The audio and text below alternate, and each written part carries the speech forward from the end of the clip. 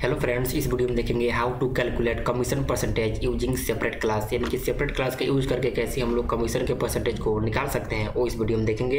इसके लिए क्या करना होगा, हमको यहाँ पे एक मेन क्लास के अंदर आना होगा और यहाँ पे जो भी काम है वो करना होगा। उसके बाद एक अलग क्लास बनाना होगा, जिसके द्वारा हम यहाँ पे क्या करेंगे एक्सेस करेंगे, उसका ऑब्जेक्ट बना करके। तो हम यहाँ सबसे पहले क्या काम करेंगे मेन क्लास के अंदर आएँगे और मेन मेथड के अंदर आएँगे। हमारा मेन क्लास क्या है? यह है कमीशन परसेंटेज सेपरेट क्लास इसका नाम है। और मैं क्या करूँगा यहाँ पे आऊँगा और एक बनाऊँगा स्कैनर क्लास का ऑब्जेक्ट तो scanner scanner is equal to new scanner system dot in ठीक है? एक मैं क्यों कर रहा हूँ? यह इनपुट लेने के लिए। बस इसका यही मकसद है।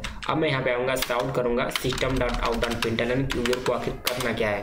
तो यहाँ बोलूँगा कि आप यहाँ पे इंटर अमाउंट डालिए। ठीक? फिर मैं करूँगा साउट यहाँ पे डबल डॉट का वेरिएबल लूँगा और यहाँ पे स्टोर करूँगा, जो भी हमारा है वेरिएबल ये तो मैंने हो गया और उसका नाम होगा हमारा यहाँ पे अमाउंट ठीक है? तो अमाउंट नाम दूँगा और इसके अंदर स्टोर करूँगा। इसके अंदर डॉट नेक्स्ट डबल पहला काम हो गया मेरा। अब मैं नेक्स्ट काम में करने वाला हूँ सिस्टम आउट पेंटलन इसके अंदर मैं लिखूँगा इंटर पहले अमाउंट लिया था, अब लिखूँगा मैं कमीशन का जो भी परसेंटेज है, वो है वो क्या करूँगा? मैं लिखूँगा। तो कमीशन का परसेंटेज मैंने क्या किया? लिख लिया। अब मैं क्या करूँगा, इसको सिस्टम आउट डन प्रिंटर नहीं किया और यहाँ पे नहीं, वो नहीं करना है मुझे। अब मुझे इसको स्टोर करना है। तो बनाऊँगा डबल डाटा टैग वेरिएबल जिसको मैं दूँगा कमीशन परसेंटेज नाम। ठीक है? तो कमीशन और यहाँ दूँगा परसेंटेज ठीक? तो यहाँ कमीशन परसेंटेज हो गया हमारा।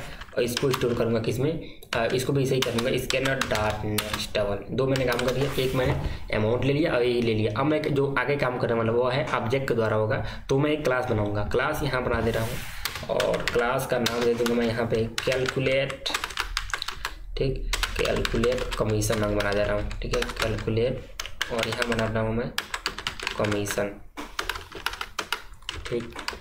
तो हमारा कैलकुलेट कमीशन का एक क्लास बन गया। ठीक? अब मैं क्या करूँगा इसके अंदर? एक बनाऊँगा डबल डाटा वेरिएबल जो कि होगा हमारा रिज़ल्ट ठीक? अब मैं क्या करूँगा? इसके बाद आऊँगा और एक बनाऊँगा यहाँ पे कंस्ट्रक्टर कैलकुलेट क्लास का। तो यहाँ पे कैलकुलेट कमीशन बनाऊँगा। इसके अंदर दो चीज़ पास करूँगा। पहला वो भी होगा डबल डाटा का, उसमें मैं डालूँगा एक्स और एक बनाऊँगा डबल डाटा वेरिएबल जिसका होगा वाई ठीक है? अब इसमें कुछ नहीं आपको फार्मूला क्रिएट करना होता है तो अभी जो रिज़ल्ट बनाया था, उसमें स्टोर करना है मुझे। स्टोर में क्या करना है, मुझे यहाँ पे लिखना होगा, वह है हमारा कमीशन परसेंटेज हम यहाँ पे लेंगे तो यह वो हमारा होगा वाई ठीक है? वाई क्या होगा? यहाँ पे स्टोर होगा। बाई हो गया हमारा हंड्रेड इंटू क्या हो गया हमारा? यहाँ पे आएँगे और वो हो गया एक्स ठीक है, ये क्या होगा स्टोर कर लिया इसमें। तो मैंने यहाँ पे रिज़ल्ट काम कर लिया। अब मैं क्या करूँगा? यहाँ पे जो क्लास बनने का है, वो काम कर लिया। अब मैं इस क्लास का ऑब्जेक्ट बनाऊँगा, जो हमारा कैलकुलेट कमीशन है। और ये हमारे क्या बनाया था? कंस्ट्रक्टर बनाया है, ठीक है? यहाँ पे।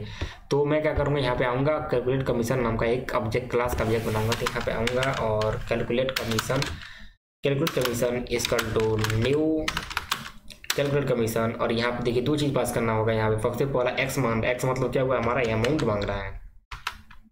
ठीक है? अमाउंट दूसरा मांग रहा है हमको क्या?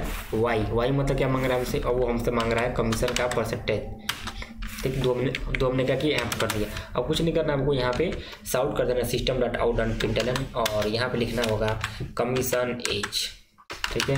तो यहाँ पे लिख दिया मैंने कमीशन एज और यहाँ पे प्लस करके ठीक? और यहाँ पे लिखेंगे कमीशन परसेंटेज जो भी होगा, पहले तो क्लास का नाम लिखना होगा, किस क्लास है यहाँ पे? तो हमने यहाँ पे कैलकुलेट कमीशन बनाया है, इसकी और डाट इसके अंदर हमारा क्या है? वह है हमारा यहाँ पे रिज़ल्ट तो रिज़ल्ट को जब कॉल करेंगे, तब जाके आपका आंसर आएगा। केवल कैलकुलेट कमीशन से नहीं काम हो पाएगा, क्योंकि हमने क्या किया है? रिज़ल्ट के अंदर इसको स्टोर किया हुआ है।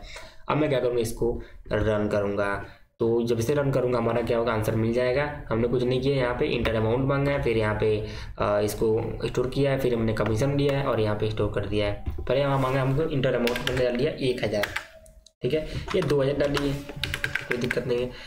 फिर हमने मांगा कमीशन परसेंट मान लीजिए मुझे दस परसेंट कमीशन मिलता है। इसका मतलब क्या हुआ? हमको यहाँ पे दो सौ रुपये का बेनिफिट होता है। मतलब दो सौ रुपये का हमको कमीशन मिलता है। अगर दो हज़ार रुपये पे दस परसेंट कमीशन हो रहा है, इसका मतलब ये हुआ कि दो सौ रुपये का आपको कमीशन मिलता है। तो ये और हमारा फार्मूला इसको फाइंड करने का। ठीक है तो इसे क्या कर सकते हैं हम यहाँ पे कमीशन को निकाल सकते हैं, जो भी हमारा कमीशन होता है इसको।